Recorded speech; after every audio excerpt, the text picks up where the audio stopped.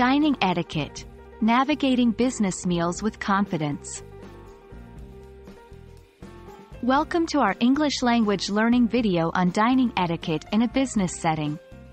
Understanding the customs and expectations surrounding business meals is crucial for building professional relationships and making a positive impression. In this video, we will explore essential tips and guidelines to help you navigate business dining situations with confidence. So, let's get started. When attending a business meal, the seating arrangement plays an important role. The host usually determines the seating plan, so it's essential to wait for guidance. If you're the host, be proactive in guiding your guests to their seats. In formal settings, the seating arrangement often follows a hierarchical order, with the most important person sitting at the head of the table. Once seated, remember to place your napkin on your lap. It's considered polite to wait until everyone has been served before you begin eating. In some cultures, it's customary to say a few words of thanks or grace before starting the meal. When it comes to ordering, it's best to follow the lead of the host. They may recommend specific dishes or ask for suggestions from the menu.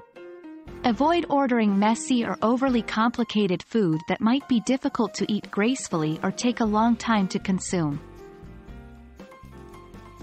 Regarding alcohol, it's important to be mindful of your consumption. If others are drinking, you can follow their lead, but it's perfectly acceptable to decline alcoholic beverages if you prefer not to drink.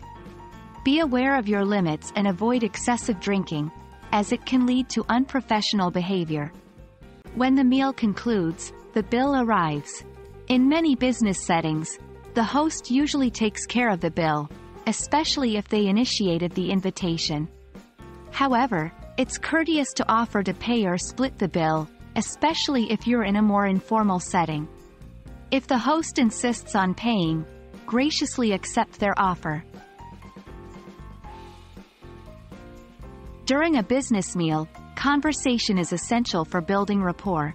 Engage in polite small talk to create a friendly atmosphere and show interest in your dining companions.